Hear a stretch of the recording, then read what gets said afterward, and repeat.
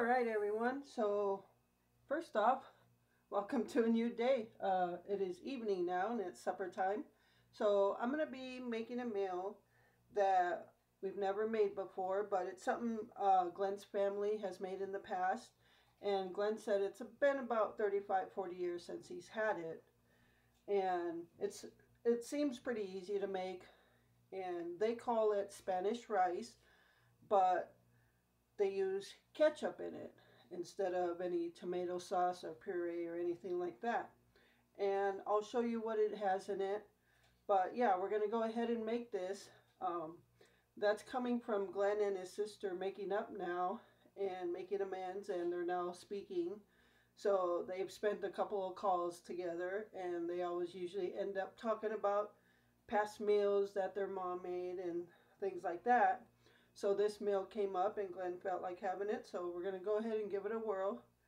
He said it wasn't his favorite back then, but he wants to see if he likes it. So let's do that and let me show you what we're using.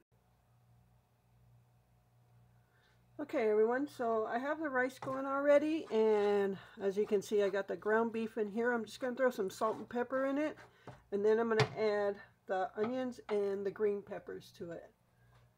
And then I'm just going to let it cook.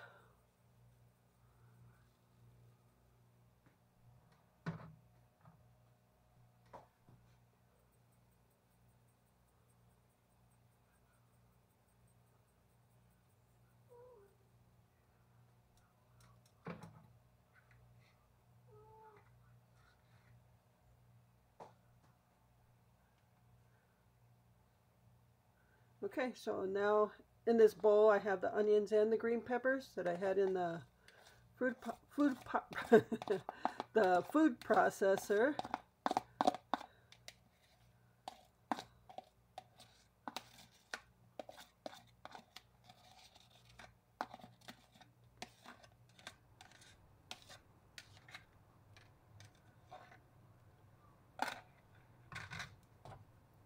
Now I'm just going to go ahead and mix it up.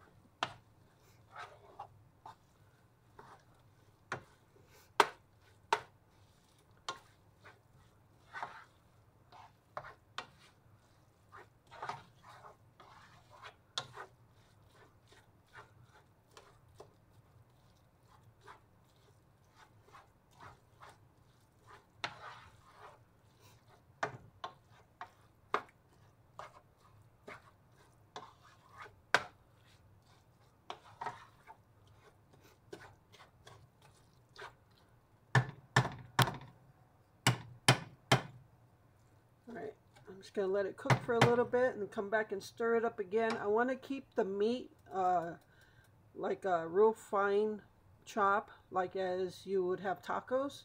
So I want to keep a fine mince on the meat.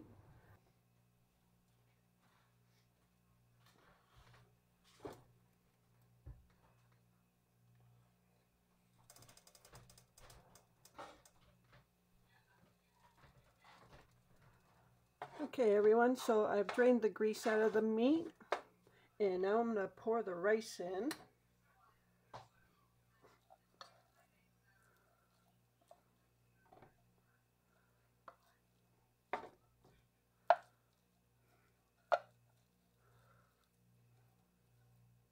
I'm just going to pour it all in. So that was uh, one cup of rice and I cook it in two cups of water. And I'm just going to stir this. I have the heat between two and three.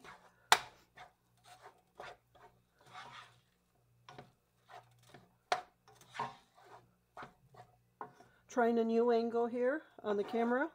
So let me know how you like it. I am actually uh, using my action camera, which is the camera I use for the bird cam. Uh, just trying different things, see what works good.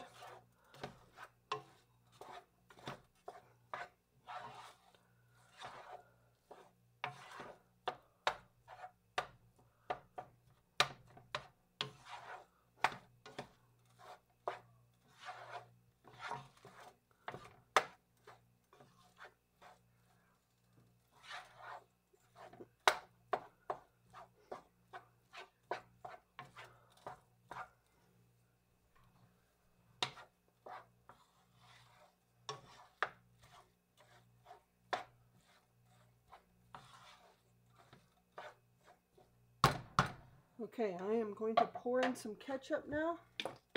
Not sure how much I have to use.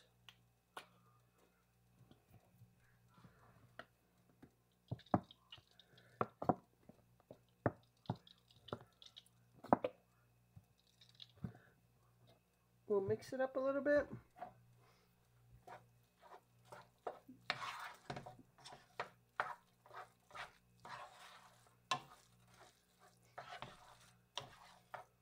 Looks like we'll have to pour some more in.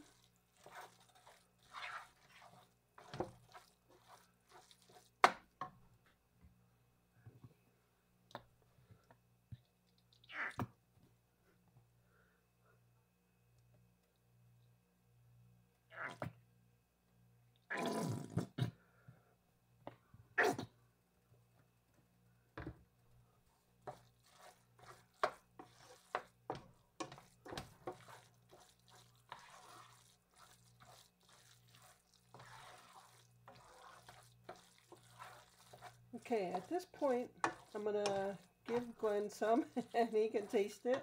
I'm not sure what how much is supposed to be in there. we can uh, salt and pepper from there.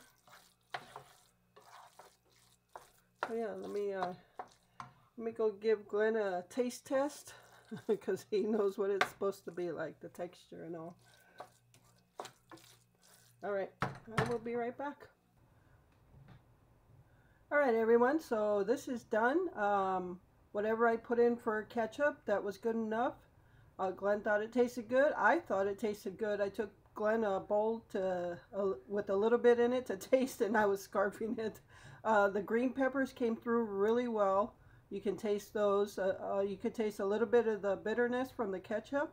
But other than that, it, I mean, it all just came together really well. So this is a nice meal, uh, pretty simple to make. Um, yeah, so we are going to enjoy our supper now. And I still have a weekly food pantry haul to bring to you. So stay tuned for that. Okay, everyone, this is our weekly food pantry haul. And keep in mind, this is the one where we get to walk through and choose what we want from uh, different sections. And this pantry also has a pretty decent produce section, uh, a mixture of fruits and vegetables, and we usually can pick out three. So, all right, and you're always guaranteed, well, not I can't say guaranteed, but it hasn't failed yet.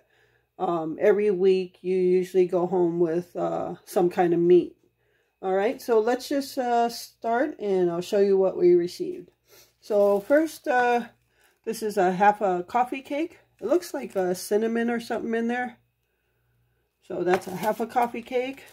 And this is a sausage, beef sausage or regular sausage, like summer sausage. And then we got two packs. You can hardly see them. Um, you can't see them very well because I just took them out of the freezer. I'm recording this late, uh, so they're quite froze. These are pork. They look like the pork country style ribs. And the last time we got these, they were really good. So I hope they're the same kind. But we got two packs, and it looks like there's two ribs in each one. So that's good. We got a pack of hot dog buns. And I don't believe we have hot dogs, but we do have a pack of uh, uh, smoked sausage. Yeah, I think we got that last week. So maybe we try that in the hot dog buns. Uh, Glen, I don't think so. he doesn't like buns. He likes rolls.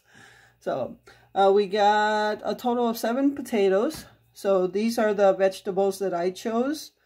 Um, they had like apples, oranges, bananas, and then obviously the, the veggies you see in front of you. And there might have been a couple other things, but by the time I got there late again this, this week, um, but so by the time I get to the produce table, a lot of the stuff is gone, but I usually can still get what I think we would use. So I grabbed some potatoes. Well, I didn't grab them. I let them know. They actually give it to you. So she gave us uh, seven potatoes and then a head of broccoli and a bag of carrots. So I chose all those veggies. And we also got a can of, uh, you can see down there, can of uh, chicken breast.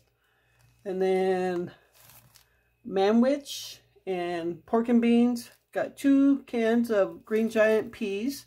Got a can of enchilada sauce and a can of uh, refried beans. Got this box of uh, Millville, I believe that's from Aldi. Maple and brown sugar instant oatmeal, which is what I like.